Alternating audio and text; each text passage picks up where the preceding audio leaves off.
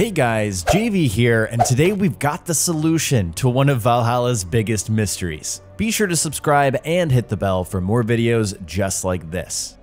Just a couple days ago, I made a video about Nodens' Arc and the mysterious Odin runes found scattered around Valhalla. And thanks to some amazing work by Access the Animus and JorRaptor, we as a community have uncovered the legit way to unlock Nodens' Arc. Once again, this video right here would not be possible without their work, so I've linked all relevant videos in the description below. As first reported by JorRaptor, we found a bow, a legendary Isu bow hidden in Valhalla that we didn't know was there, first off, and second off, we didn't have a legit way to unlock it. In my video earlier this week, I shared the wild goose chase that I went on, chasing down leads across the game, taking us down to the Roman temple ruins in the Forest of Denu in Gloucestershire. Ultimately, that was not the solution to this mystery. Instead, the solution was in the Isu language work that the good folks over at Access the Animus spent so long decoding.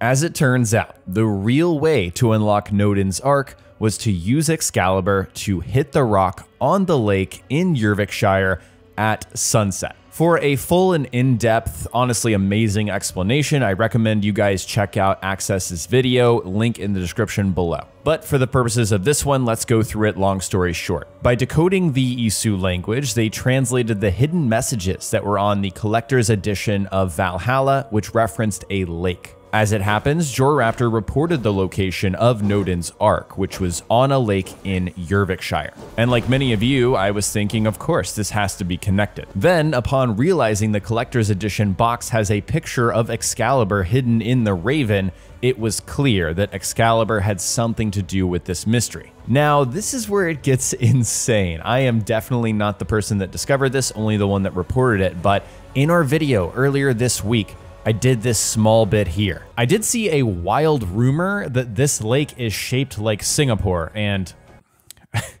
it is. I mean, it's a crazy coincidence. I don't think there's anything here, but it definitely is shaped like Singapore. And guys, I've never been more happy to be wrong in a video. It turns out this lake is shaped like Singapore on purpose to reference Ubisoft Studio in Singapore, and more specifically, the developer that is responsible for creating the Isu language. As Marco points out in his Access the Animus video, the location of the rock that we need to hit is almost exactly where Ubisoft Studio is physically located in Singapore. Then, by re examining the clues on the collector's edition, Marco realized that we needed to hit the rock at sundown with Excalibur to unlock Nodens' Arc. And guys, it's hard to put into words, but I'm just absolutely stunned by this mystery. This is just one of the coolest discoveries that it feels like we as a community truly uncovered together. Such a cool experience that, yeah, I, I just don't think I will ever forget. And it was cool to play like a very small role. I know I didn't do much, but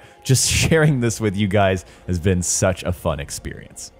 Now, of course, we still have these mysterious runes around the map, and I wanted to give you guys an update because you sent me a ton of theories, and shortly after posting my last video, you sent me the location of a third Odin's illusionary rune. So here it is in East Anglia. It's near one of the Fly Agaric mysteries that you can do. And this one is interesting because when you walk over it, it makes a noise.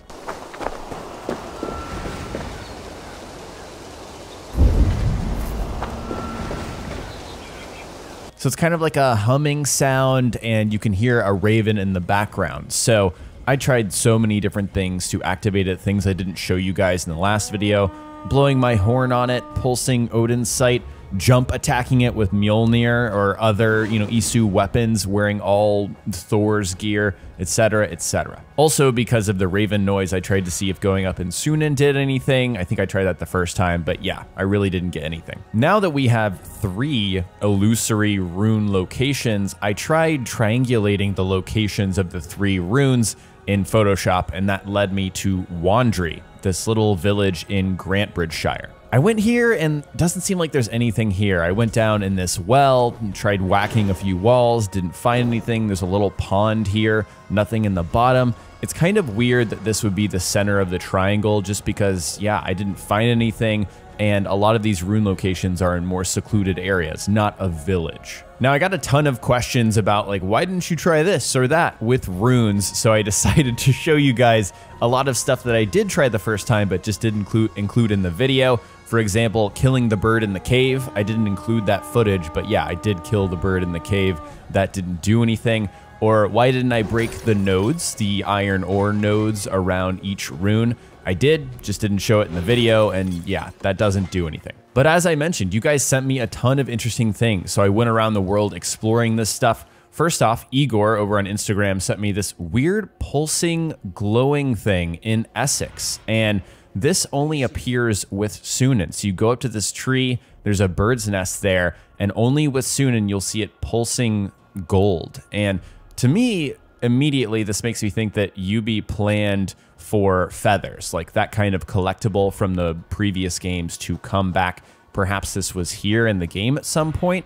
Perhaps not. This is a total mistake, and that you know someone, you know, a world designer put this here and just didn't remove it. I'm not really sure there, but there's no more to go on with this one. Then over on my Discord, the elf sent me this post on the Ubisoft forums from Carefree Dude who shared something really weird they found at the bottom of the ocean between East Anglia and Lincolnshire. So if you go to the very bottom, and I have like a phobia of open water, so this was particularly like unnerving for me, you'll find what I feel is just an unfinished part of the map. There's a red area, some white text. You can try and figure out like exactly what this says, but this is not like an Easter egg, in my opinion. This is not pointing to anything specific. It's just something that we weren't supposed to see that was unfinished, but hey, it's interesting nonetheless. I got a ton more messages and comments about the Magister Vitus Easter egg, and you guys were finding those triangles with the Roman numerals around the world, and unfortunately, we already know what those are. That's connected to the Magister Vitus Easter egg,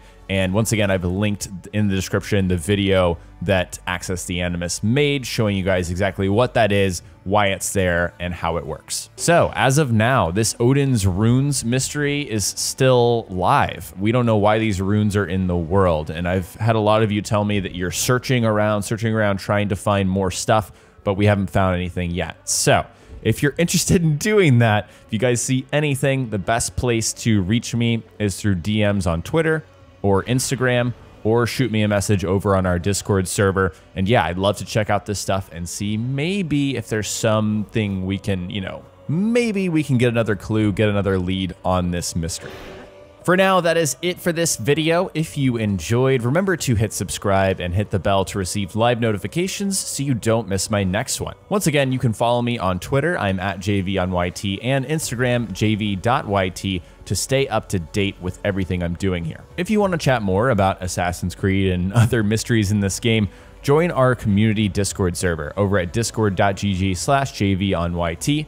Links for everything I've mentioned are in the description below. Big thanks to my YouTube members, my Ultra fans Dave, Grass, Deadwalker, Bill, Cam, Jacob, and Cullen. Super fans Kamal, Casey, Tipsy Sergey, Tarl K, Ryan, and Tia. Fans John, Matthew, Spyro, JVO, Level 42, Joe, Lil Man, and Bloodsky. And supporters Nos, Nightmare, Sung, Taryn, Adam, Blaze, Mr. Hollow, Quickness, Firkin, Abhishek, Rivi, John, and Jennifer for supporting the channel. If you want to support me further, click the join button below this video. In exchange for your support, you'll unlock custom badges, emotes, and monthly play sessions with the community. Check the link in the description for more information. Thank you guys so much for watching, and I'll talk to you next time.